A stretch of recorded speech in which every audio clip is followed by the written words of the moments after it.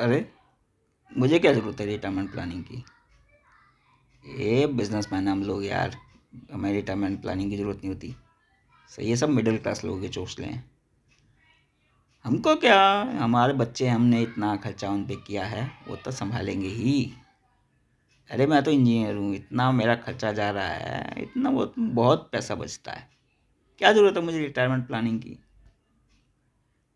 ये सब कह सकते हैं। म्यूचुअल फंड में पैसा लगाऊँगा अच्छा खासा रिटर्न मिलेगा।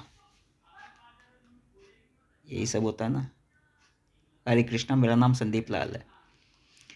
रिटायरमेंट प्लानिंग के बारे में जितने भी मिथ्स हैं, शायद आपको इस बार सोचने का थोड़ा सा नया नज़रिया दूँ।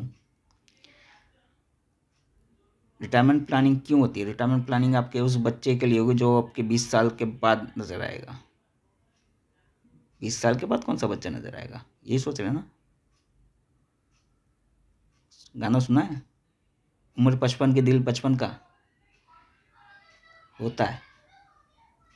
साठ साल के बाद अक्सर आदमी बच्चे सके समान हो जाता है, क्योंकि बहुत सारी जिम्मेदारियों से मुक्त हो जाता है उस समय तक। बच्चे की शादी हो चुकी होती है, बच्चे अच्छे से पढ़ चुके होते हैं, बच्चे कमा रहे होते हैं। और ये समय होता है उनके रिलैक्स होने का। लेकिन कई बार वो रिलैक्स नहीं हो पाते। मैंने देखा है, महसूस किया है। उनकी छोटी छोटी जो इच्छाएँ होती है ना, वो मरने लगती हैं। वो अपने बच्चों के डिपेंडेंट हो जाते हैं कि बच्चे अगर देंगे, तब वो इधर इन्वेस्ट कर पाएँगे, उधर दान दे पाएँगे, उधर काम कर पाएँगे, किसी कोई मंदिर में काम कर पाएँगे या किसी की शादी करवानी हो मतलब दान धर्म करना हो, वहाँ कर पाएँगे। अपने जो कहीं पल्लू से पाँच रुपये, दस रुपये करके वो किसी शादी में किसी को आशीर्वाद जब देना होता है तो वो इकट्ठा करते रहते हैं, पाँच रुपये, दस रुपये। जब वो इकट्ठा करके देते हैं तो ये सोचते हैं कि काश कुछ पैसे और होते तो और दे दे पाता या दे पाती।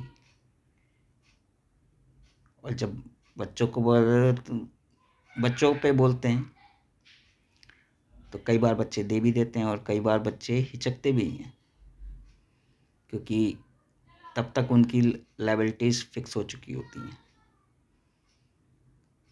उस लेबलिटी में आपकी लाइबिलिटी में समझौता करते हुए कहीं ना कहीं कुछ कमी रह जाती है। और ये अक्सर कभी कभार खल जाता है। जब उस उम्र में वो उम्र ऐसी होती है, उसमें चाहिए सपोर्ट चाहिए होता है। क्योंकि 20 से 30 साल का मोमेंटम आप 30 से 40 में नहीं ला सकते। 30 से 40 साल का मोमेंटम आप 40 से 50 में नहीं ला सकते। और 40 से 50 का मोमेंटम आप 50 के बाद नहीं ला सकते। आपका मोमेंटम धीरे धीरे कम होने लगता है, गिरने लगता है। अक्सर जो हमारे खर्चों पे गाज गिरती है, उसमें ज़्यादातर मेडिकल के खर्चे होते हैं, क्योंकि ओल्ड एज में सबसे ज़्यादा खर्चा मेडिकल पे होता है। सारे खर्चे आपके कवर नहीं हैं। और अगर कोई ऐसा खर्चा लग गया तो एक डेढ़ लाख कहीं नहीं गया वो ढाई लाख कहीं नहीं गया। केसेस होते हैं कि बहुत ज़्यादा भी पैसा लगता है। कम भी पैसा लगता है, फिर दवाइयों पे ही आदमी निकलने लगता है, लेकिन दवाइयों का खर्चा इतना ज़्यादा हो जाता है। तो सबसे ज़्यादा जो खर्चा मारता है, वो होता है मेडिकल रेगुलर आपका खान पान में आपका गिरने लगता है। क्योंकि आप जो उस टाइम पे अपने पे खर्चा खान पान में खर्चा करते थे, वो अपने बुढ़ापे में खर्चा नहीं कर पाते। इसलिए वो रिटायरमेंट के टाइम पे रिटायरमेंट प्लानिंग ज़रूरी है। आप जो खर्चा अभी कर रहे हैं इंजीनियर बोल रहा है या कोई बड़ा से बड़ा बिजनेसमैन बोल रहा है कि मुझे ज़रूरत नहीं है, मेरे पास बहुत पैसा है। सर, आपका आधे से ज़्यादा पैसा तो बैंक खा रही है ईएमआई लोन के इंटरेस्ट बैंक बैंक वो सब चूस रही है आपका पैसा। आप एक बार डगमगाए, बस बैंक धर लेगा, वो नहीं रुकेगा। कई बार वो आपके अपनों के सेविंग पर दकाज गिर जाती है। गिरनी नहीं चाहिए। वो पैसा जो भी बचाया हुआ है, वो सिर्फ़ आपके बच्चों का है। इसलिए रिटायरमेंट प्लानिंग के बारे में सोचिए। मेरा नाम संदीप लाल है। मैं इंश्योरेंस एडवाइज़र हूँ। हेल्थ में मैंने महसूस किया हुआ है, देखा हुआ है, झेला हुआ है। ज़िंदगी लाइफ इंश्योरेंस प्लानिंग में मैंने देखा हुआ है।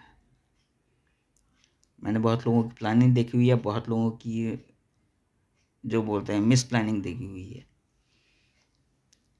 कहाँ आदमी गड़बड़ाता है, कहाँ आदमी बच जाता है। ये सब मैंने महसूस किया हुआ है। उसी के अनुभव पे आपसे बात कर रहा हूँ मैं। अगर इंश्योरेंस के रिलेटेड किसी के कोई क्वेरी हो तो कृपया संपर्क करें। मेरा नाम नीचे टैगलाइन में हरे कृष्णा, दोबारा से। संदीप लाल, आपका हमदम, आपका दोस्त। इंश्योरेंस के रास्ते में, आपकी ज़िंदगी के प्लानिंग के रास्ते में, आपका साथी।